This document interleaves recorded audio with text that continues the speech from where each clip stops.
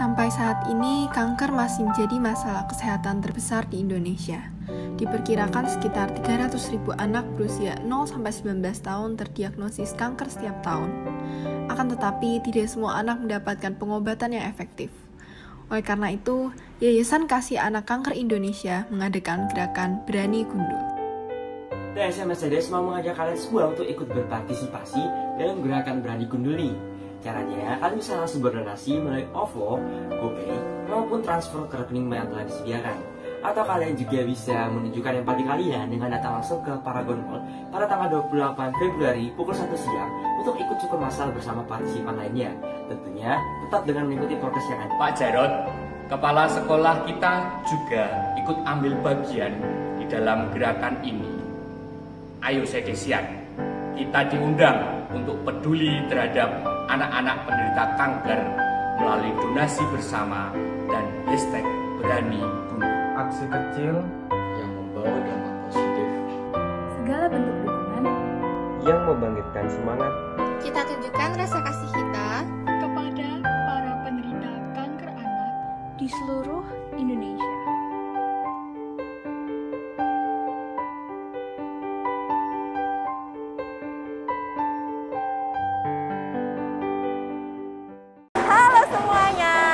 Lagi dalam acara Sedes Report. Hai, halo Vicky.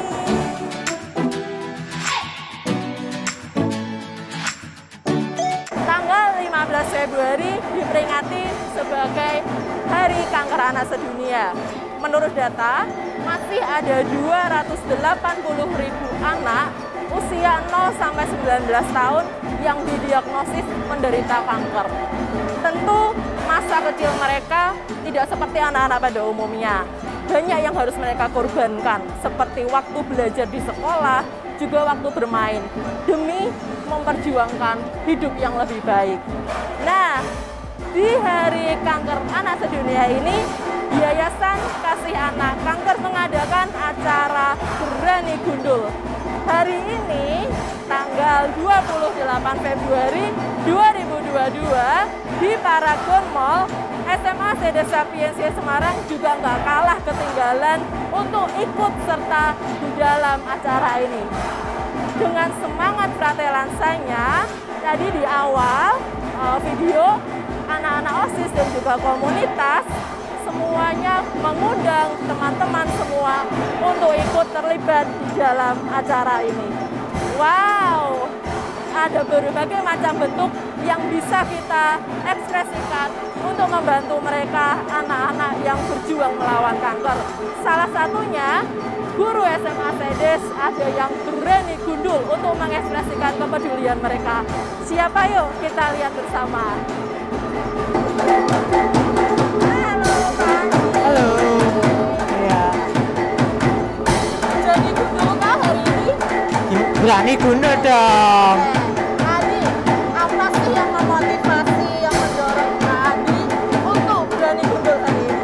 Ya, eh, saya mengikuti gerakan ini karena saya memiliki rasa empati kepada adik-adik yang menderita penyakit kanker.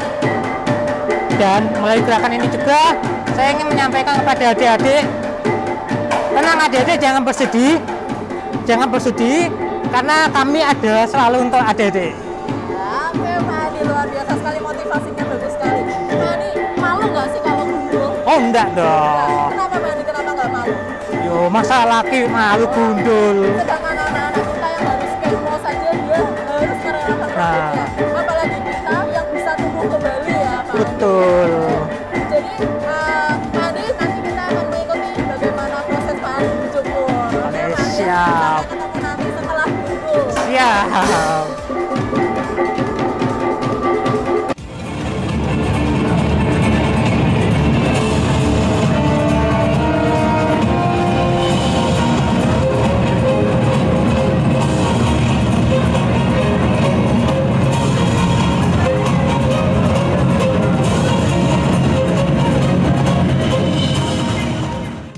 Masuk saya, itu seorang guru dulu saya ngajar Mbak Vita itu fisika tapi nampaknya sekarang saya harus belajar kepadanya kepada Mbak Vita soal solidaritas soal empati kepada orang-orang yang kebetulan saja dia banyak bergerak di anak-anak penderita kanker.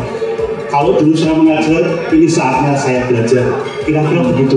Kita wujudkan dengan gundul itu dan kebetulan didukung oleh banyak orang. Waduh, luar biasa boleh beri tepuk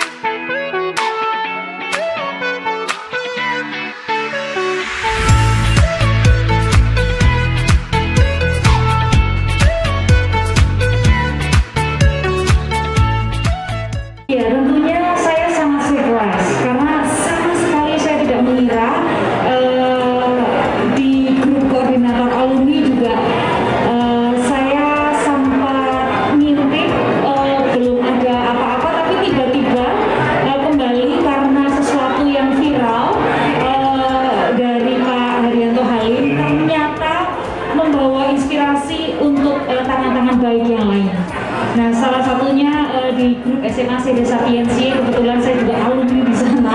saya bangga banget eh, bisa menjadi bagian dari SMA CD Sapiensi yang selalu menanamkan nilai-nilai kemanusiaan luar biasa, cinta kasihnya luar biasa. Dan hari ini terbukti bahwa Sedesian, para guru, para siswa memberikan eh, solidaritasnya buat anak-anak saya di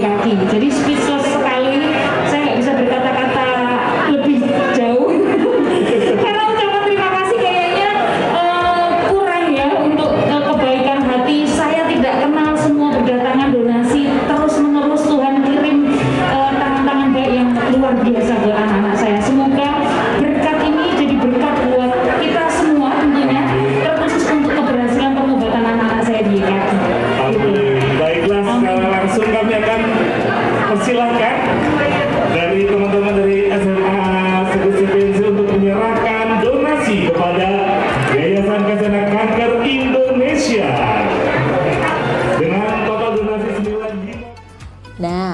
untuk Sedesian dan semuanya saja yang ingin memberikan dukungan semangat untuk anak-anak yang masih berjuang melawan kanker dapat melalui nomor rekening berikut ini. Dukungan sekecil apa pun sangat membantu menyelamatkan masa depan mereka. Kalau tidak dimulai dari diri kita sendiri, lalu siapa? Better survival is achievable. Saya Erika, sampai bertemu lagi dalam Sedes Report. Bye.